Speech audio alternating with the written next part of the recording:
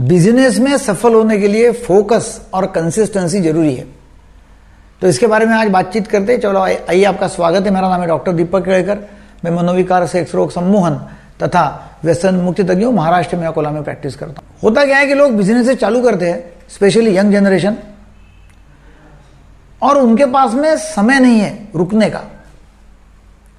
रुकने का समय नहीं है। लोगों को इंस्टेंट सक्सेस चाहिए।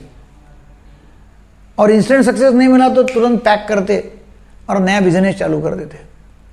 बोलते, इसमें कोई पड़ा नहीं है। यदि आप जो बिज़नेस कर रहे हैं, उसमें आपको सफलता नहीं है, मगर वही बिज़नेस करते हुए बाकी लोगों को ये सफलता यदि है, इसका मतलब मेरा बिज़नेस करने में कुछ तो भी गड़बड़ हो रही है। मैं फोकस नहीं हूँ। या मेरा बिज़नेस का जो स्टाइल है वो ठीक नहीं है। मेरा तरीका ठीक नहीं है। मुझे देखना पड़ेगा कि मेरे बिज़नेस में क्या ऐसा मिसिंग है, मेरे में ऐसा क्या मिसिंग है कि जो यदि मैं करता हूँ तो बिज़नेस चलेगा।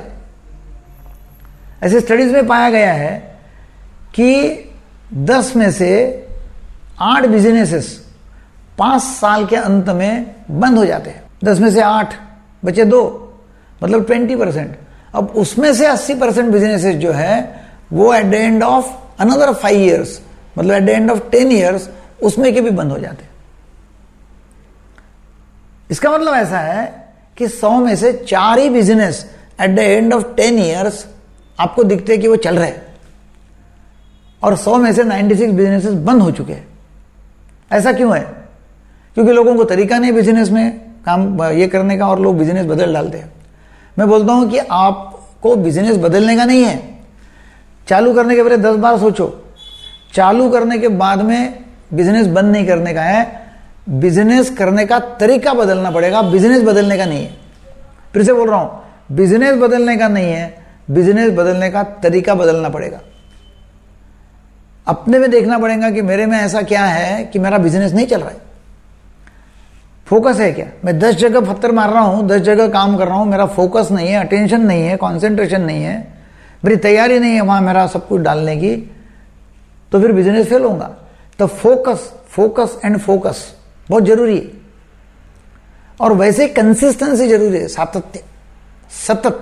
जब सातत कंसिस्टेंसी रहेंगे कंसिस्टेंटली आप वही वही वही वही काम करेंगे और नए नए तरीके से काम करेंगे। समझो, ये सफल नहीं होता है तो चलो, टिके रहो। और टिके रह के वहाँ काम करेंगे तो काम होगा और सफलता मिलेगी। मैं हरदम मेरे लेक्चर में बोलता हूँ कि यहाँ टिके रहना कौन है? तो टिके रहना कोई खड़ा नहीं होता। बोला, टिके रहना नाम का कोई व्यक्ति है नहीं। टिके रहना कौन है? मैं पूछता हूँ, टिके रहना तो मैं बोलता हूँ, टीके रहना। तो रहना नाम का आदमी नहीं है। टीके रहना ज़रूरी है। बिज़नेस में टिक कर रहना ज़रूरी है। टिक कर रहो, टिके रहो। क्योंकि सफलता मिलेगी। हो सकता है कि आप टिक कर रहते नहीं है। हो सकता है कि आप टिक कर रहेंगे, समझो, और आपको सक्सेस मिलने वाला है, मगर आप तब तक थक जाते हो बोर हो जाते हो रिजाइंड हो जाते हो, और आखिरी आखिरी जब आप सक्सेस होने वाले हैं, तभी आप पीछे हट जाते हो। सक्सेस आपसे निकल जाता है। तो आपको टिक कर रखना ज़रूरी है। बहुत बार ऐसा होता है कि हम बस की राह देखते हुए बस स्टॉप के खड़े रहते पैंतालीस मिनट तक खड़े रहे, ऑटो आया और ऑटो में बैठ रहे, तब तक बस आ जाती है। तो आखिरी का जो एक मिनट है, दो मिनट है, पाँच मिनट है, वो महत्व का रहता है, बस तब आती है। तो वैसे है कि आखिरी के जो दिन, आखिरी का जो टाइम है, वो महत्व का रहता है। आखिरी तक टिक कर रहना ज़रूरी है। मगर लोगों को क्या है आजकल कि चलो थोड़ा सा करके देखेंगे, छोड़ देंगे, थोड़ा करके देखेंगे, छोड़ देंगे थोड़ा करके देखेंगे, छोड़ देंगे, और फिर प्रॉब्लम होता है।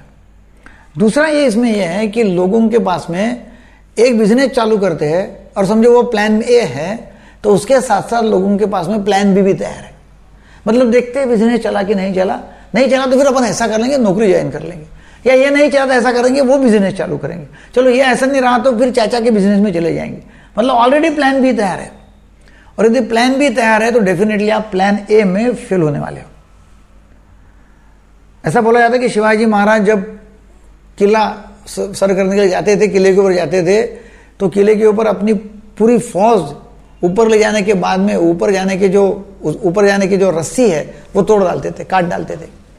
ताकि अभी हमारी फौज जो है, वो अभी मरेंगी या मारेगी, अभी वापस आने का रास्ता बंद है। तो जब वापस आने का रास्ता आपके लिए खुला है तो फिर आप प्लान ए में सक्सेसफुल होंगे ही नहीं चांसेस बहुत कम है। तो पीछे आने के, वापस आने के दरवाजे पूरे बंद होना चाहिए। बैकडोर पूरे बंद रख करके आप यदि काम करते हैं कंसिस्टेंटली काम करते हैं फोकस करके काम करते हैं तो डेफिनेटली आप कुछ भी धंधा लो, कुछ भी बिज़नेस करो सक्सेसफुल हो जाएगा। और जब बिज़नेस आप चालू कर दे तो बिज़नेस में नॉलेज बहुत ज़रूरी है वो बिज़नेस का। वो बिज़नेस के स्किल्स लाना बहुत ज़रूरी है। और बहुत बड़ा जो काम है उसमें, वो लोगों को चलाने का पीपल स्किल्स लोगों को कैसे चलाओगे टीम को कैसे चलाओगे टीम से कैसे काम करवाओगे, वो एक स्किल तो ये रहेगा तो बिज़नेस नहीं चलने का कोई कारण ही नहीं है। ये वीडियो आपको अच्छा लगा तो ज़रूर सभी जो आंट्रप्रीनियर्स है, जो सब स्टार्टअप्स वाले जो है, सबको शेयर करो ताकि लोगों को क्लियर हो जाएगा कि हमारा धंधा चलाना है तो कैसे चलाएँगे और बंद नहीं करने का है, उसके लिए क्या क्या पिटफॉल्स है। Thank you very much for sharing subscribing and liking thank you